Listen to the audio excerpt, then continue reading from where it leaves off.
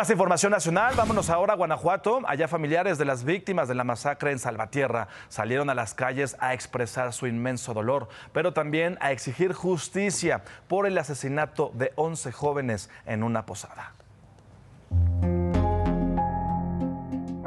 Salvatierra sufre la pérdida de 11 de sus integrantes. Es que no es que hagan su papel. Si están ahí al frente de una oficina, que cumplan con su papel. Es todo lo que puedo decir. Juan Manuel perdió a su hija Silvia Talía, quien había sido reina de belleza en 2017. Una buena niña, mucho, muy buena niña. Le faltaba un año para ser psicoterapeuta.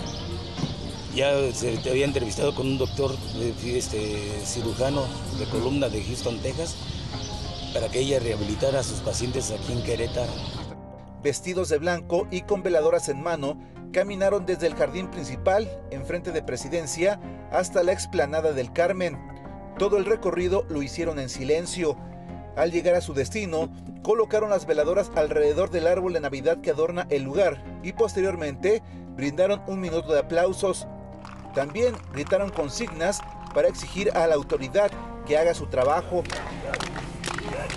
Aquí hay mucha corrupción y especialmente saben cuáles son los cárteles que gobiernan aquí. El gobierno está con ellos.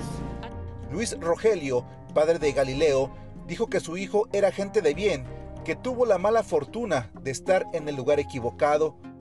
Yo estuve a las 4 de la mañana, después 15 minutos de los hechos que nos hablaron que pasó eso. A la primera persona que vi fue a mi hijo Galileo ahí tirado, todo balaseado, este, con su amiga por un lado, dice él estaba bailando con ellas.